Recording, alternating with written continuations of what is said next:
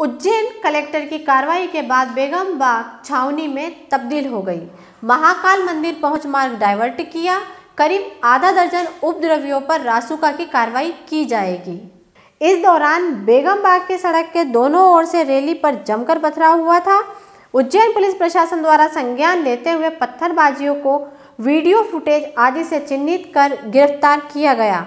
नाले किनारे अवैध तरीके से बने मकान को निगम की जेसीबी मशीनों से तोड़ा गया। इस दौरान बड़ी संख्या में कार्रवाई का विरोध करने बेगम बाग में भीड़ एकत्रित हुई।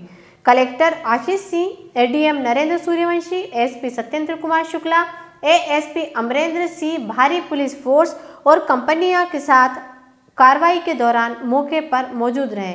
कलेक्टर आशीष सिंह ने कहा कि शुक्रवार को जो घटना घटित हुई है, उसको लेकर पूरी तैयारी की गई है।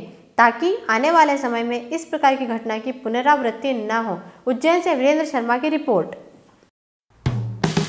हेलो फ्रेंड्स आप देख रहे हैं हमारा channel S W twenty four news हमारे सारे वीडियो सबसे पहले देखने के लिए आप हमारे चैनल को सब्सक्राइब करें और पास में लगे बेल आइकन को दबाना बिल्कुल भी ना भूलें।